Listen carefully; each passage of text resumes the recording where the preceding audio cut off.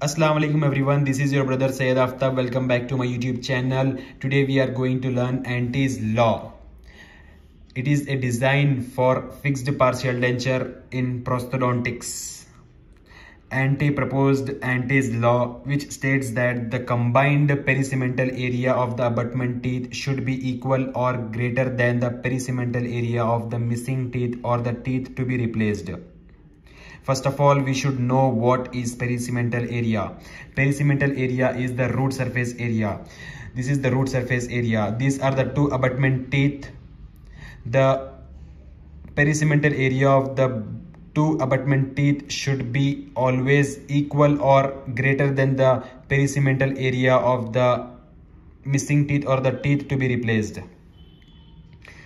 The maxillary first molar has the highest root surface area that is 433 millimeter square whereas the mandibular central incisor has the lowest or the smallest root surface area that is 154 millimeter square.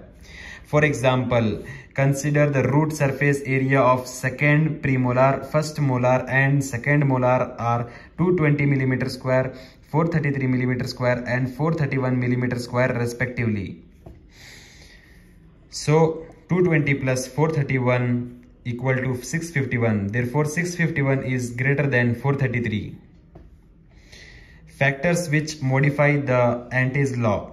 When we need to increase the abutment teeth when there is bone loss due to increase due to the periodontal disease when the consider this abutment teeth is affected by periodontal disease we should in this case we should increase the abutment teeth we should include this the abut, uh, adjacent teeth uh, as abutment teeth when the abutment teeth is mesially or distally tipped when the abutment teeth is mesially or distally tipped, we should increase the abutment. When the abutment teeth is endodontically treated, when the abutment teeth is um, endodontically, endodontically treated means the uh, teeth will be not, it, it, it, it will be not strong enough.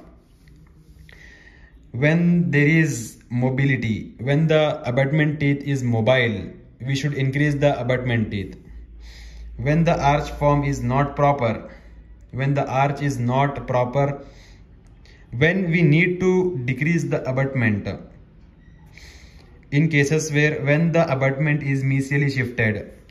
Consider this molar as this abutment teeth as uh, mesially shifted. We should decrease means we should decrease the abutment teeth. Means we should not consider either this or this. We should consider only one abutment teeth.